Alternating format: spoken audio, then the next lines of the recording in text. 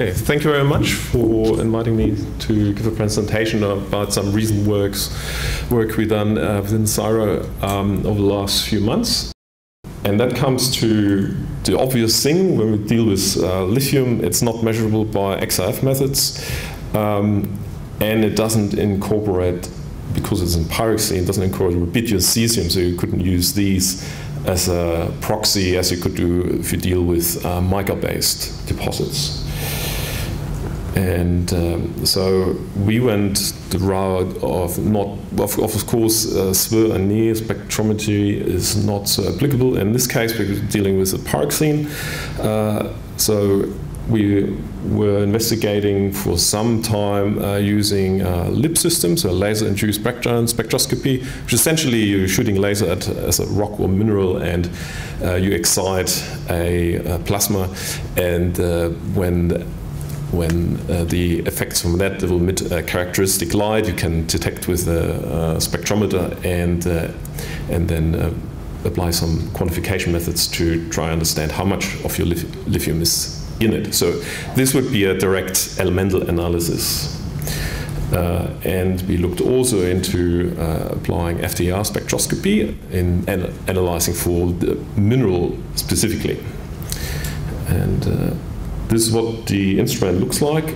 Uh, this is a Agilent handheld uh, FTIR spectrometer, and uh, this will will be able to measure from about 2,000 to 15,000 nanometers. And uh, in the few next slides, I'll show you a little bit on the outcome from our work in we're using a LIBS instrument, and then a little more in detail what we worked on with the FTIR. Um, so on the right hand side, uh, what we had is a suite of samples and uh, two groups. One in blue, it's a five, mainly a five mineral uh, situation uh, with quartz, spodumene, albite, microcline, muscovite, and there's a subset of samples in from this deposit we had, and was mainly just quartz and spodumene. And the reason why we took it out, out of uh, separated them, is that we could observe that the other ones uh, gave us a reasonable correlation between uh, the the chemical chemical lithium content versus a uh, LIBS element concentration.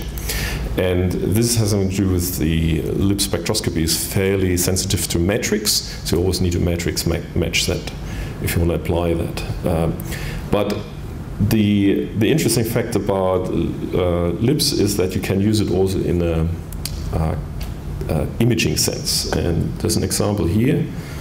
Um, and I forgot the scale to put on. I'm sorry for that. Um, but as you can clearly see, you can map uh, the lepidolite in this case, uh, because uh, lithium potassium, some K feldspar, and um, the dark color in the middle ground is uh, quartz in this, this instance. Uh, now I'd like to talk more about uh, the spectroscopical work we did. This is a fairly typical spectrum of a uh, muscovite, which does have some uh, lithium in it. Um, and there's some specific features like, like, this one, and here's the 220 feature. And what we found that as muscovite increases lithium contact, those features will shift. And that's a characteristic uh, um, part which you can utilize in quantifying how much lithium is actually in, in the mineral. And now I want to show you two spectra for the uh, spodumene on the top, that's petalite, and that, that response is in the thermal range of the spectrum. And uh, our uh, approach to that was um, using a multivariate approach. Uh, we didn't, it's fairly similar what John just was talking about. And um, uh, so this was our initial uh, study based on three different deposits.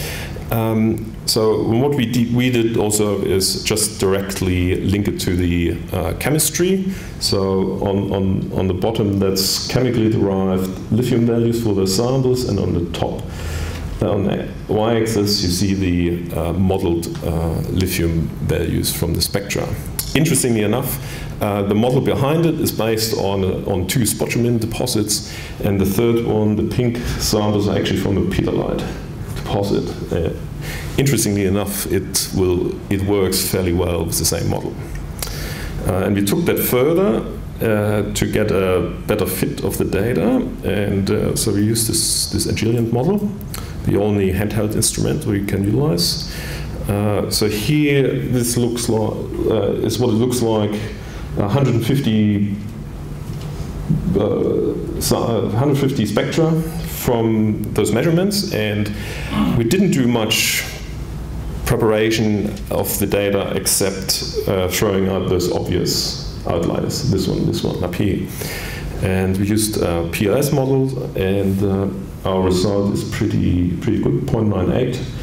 And we did some testing uh, what the error is, and uh, we come about a 0.07% lithium on, on your, and that is pretty much close to what you would get in a geochemical analysis.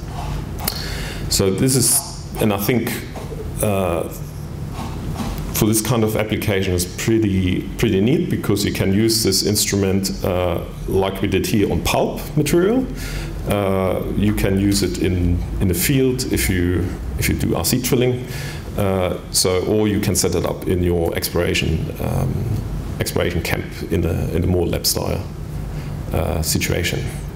Uh, and in the next few slides, I'll show you some uh, related work we did also in the lithium space, and that takes us uh, to the Greenbushes example.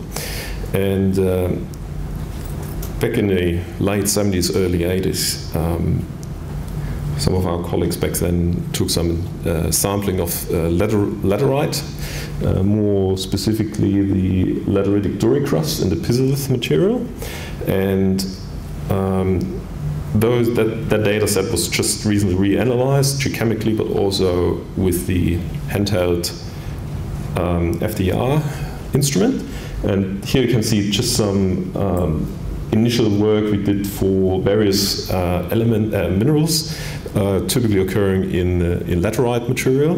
And um, this is really just the first attempt at this, and with more work into that, we certainly can improve those uh, estimates there. And what we're really interested in was is uh, where does the lithium, what happens to the lithium from your spodumene or petalite or lepidolite when the regolith is forming? And because you can, you, there's some examples out there where you, where you have soil surveys or surveys going into saprolite, which show, show us nice anomalies on top of the system in the regolith. Uh, and we are interested where that is. So first of all, this is a SEM map um, of, uh, of a pisolith, and uh, while the core here is more iron rich, and here at the, the matrix around this pisolith are typically more silicon rich. And what we really wanted interested was the lithium, and that's my last slide for today, is on the top left. This, this example, this is a laser ablation ICP MS, uh, map, and my colleague um, will this after lunch we'll talk about a little bit more in detail uh, about uh, how we how we're utilizing this instrument. But you can clearly see that the lithium in this example sits around the pisolith in the matrix. Um, and at the moment we have ongoing work to uh, into the future in why that is and why not in the pisolith and what's the story behind it and how mobile is lithium in the in the regolith. So with that I'll leave you to it. Thank you very much.